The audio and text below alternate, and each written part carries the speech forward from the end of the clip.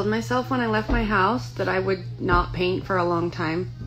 But I'm sitting here in the toy hauler garage and I can't stand it. So guess what? I'm gonna paint it today.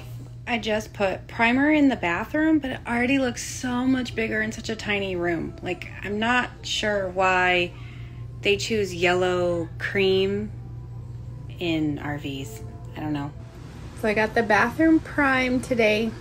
Um, some of that I didn't get behind the washer and dryer back here yet, but uh, it took a long time to get just that because there's a lot of like little things to tape and stuff, but I think it's already gonna look so much better. Like I'm already so much happier with this and I'm not even like done with real paint yet. So yeah.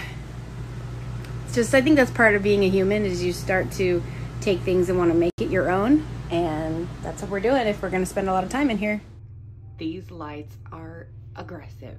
So you grab them and you pull them down like that and they have like a spring and I was trying to remove it to be able to get the primer and stuff around it and it snapped off really really hard and it cut my thumb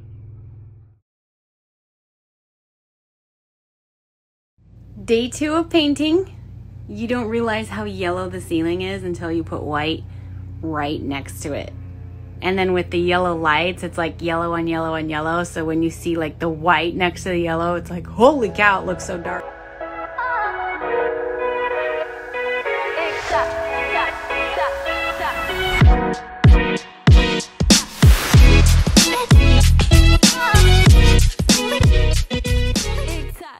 Jared's upset with me right now because I asked him to help me do some upgrades. Aren't you? I'm talking to you. He's mad at me because it's a pain in the butt. Put all these screws in, but it's gonna make that bathroom look so nice. Thank you, babe. I love you. Love you. You can really see the difference in what was here to the white walls that I just did. Um, we decided to take the cabinet out. Well, Jared decided to take cabinet out because it would be easier to put the backsplash wallpaper that I wanted in there but I don't know who was like, you know what would look good in an RV? That it's dark, it's yellow, beige. It makes everything feel small. I'm sure it's for like clean purpose, like trying to keep things clean, but it's ugly. So my project that Jared's working on is starting to come together. Yay. Uh, we, let's see, where did they go? Hold on, let me back up. So he's in there getting those applied. Um, I got this liner. It's like a uh,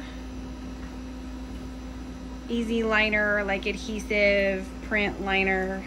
Um, that, there it is, that little brand there at Walmart for pretty cheap and they had a bunch of different colors and designs. So I wanted it in this back bathroom as like a little accent piece.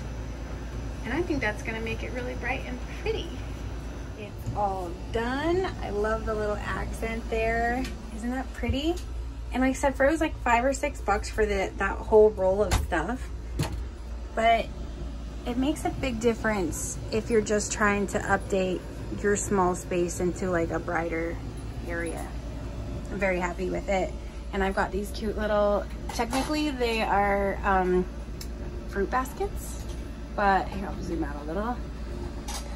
Um, I decided to use them in the in this bathroom space for like hand towels and things like that, and they're and they're cute. So it's a nice little add to the area.